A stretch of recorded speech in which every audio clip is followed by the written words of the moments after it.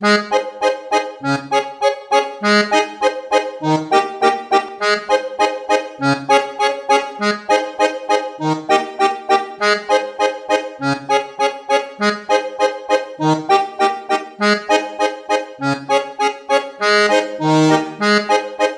are you ready for your penultimate act? Yay! Yay! Okay.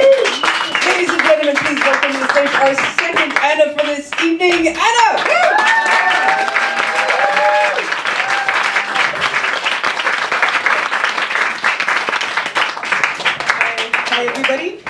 Uh, my name is Ana. I like to think of myself as curious, empathetic, and creative. My passion is getting people excited about change through human-centered design, which basically means that I may put adults out of their comfort zones by making them play, build stuff with their hands, and learn through making mistakes.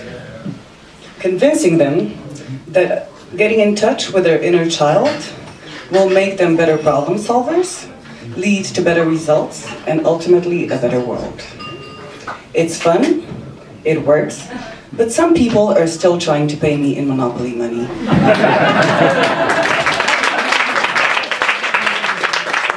Convincing adults to adopt a child's mindset can be a challenge. Everybody's already so has already mastered the skills of breaking all the stuff. Our social structures, the earth, and each other. The only childish skill we're still most likely to resort to is avoiding all responsibility.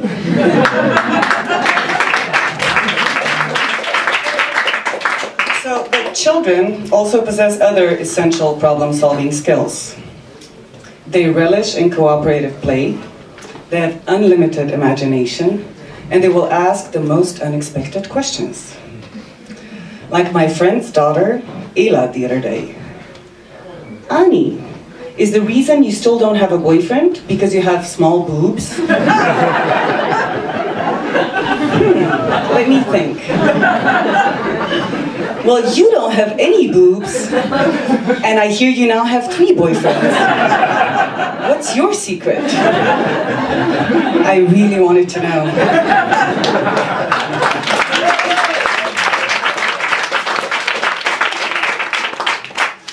I've been trying to get in touch with my inner child, my first filling, for 10 years now in therapy. I just celebrated with a new self-help book, nine ambitious personal goals, and a bottle of gin. the gin was on sale.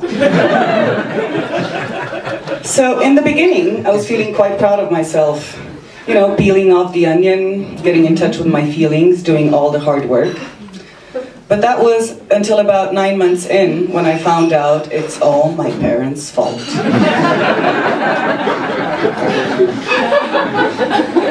I finally had somebody to blame for believing that um, competence, humility, and integrity will get me places. and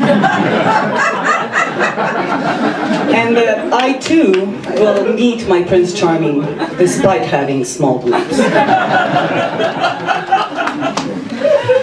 So doing therapy is sometimes like opening a Pandora's box over and over again.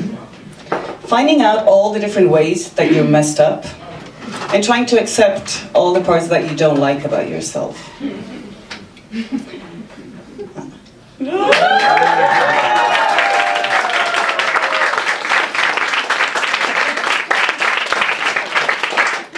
As you can see, it's working out great for me.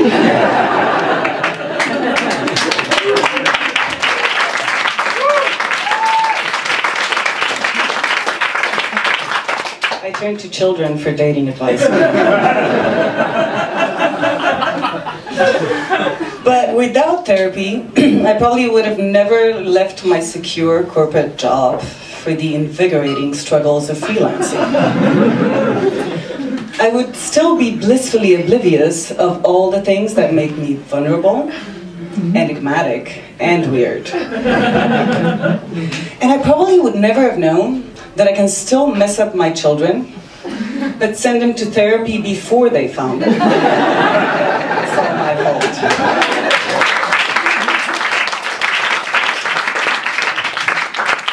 Just like Baldrick, I now have a cunning plan.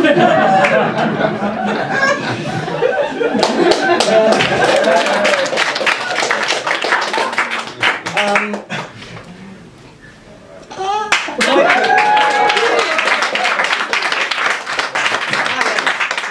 Um, so children, before adults mess them up, also have superpowers. An afternoon walk the other day with my friend's kids uh, turned into a championship in uh, wild asparagus picking. So Sarah, the nine-year-old with glasses, was finding all these invisible green toothpicks in the pointy bushes, while I was still trying to hide the aftermaths of the previous evening behind my sunglasses. she kept on going, Annie, I found another one. You missed that one there. I have so many I can barely hold them. So as you can see, I was getting a bit frustrated at some point, and at 5 p.m. it was a bit late to blame it on the gin. So I was like, okay, Sarah, what are these X-ray vision glasses that you're using? I know your sister talks to dead mice. I want your superpower. Because who doesn't want superpowers, right? If I could have one superpower, it would be the ability to teleport. to travel from one place to another in an instant. To avoid rush hour traffic jams, airport check-in queues, and meeting ex-boyfriends with pregnant girlfriends that look like supermodels.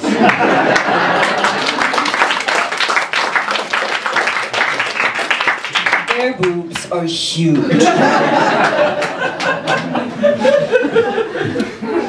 So I feel also quite fortunate that I get to travel a lot and meet interesting people from all these different countries.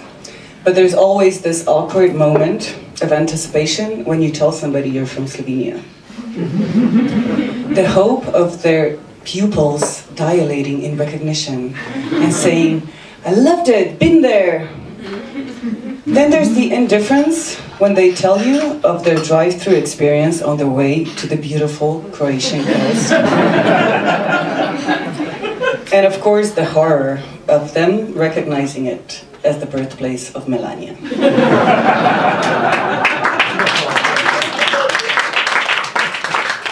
so I wonder what superpower Melania possessed when she was a child. Was it the ability to eat all the cheeseburgers in the world without gaining an ounce? Accurately predicting the future of spoiled brats across the Atlantic? Or knowing how to become the first villain's wife without having to utter a coherent sentence in English? so I think if we want to make this world a better place, uh, adopting a child's mindset could be our best bet. Let's embrace being more curious, empathetic, and creative.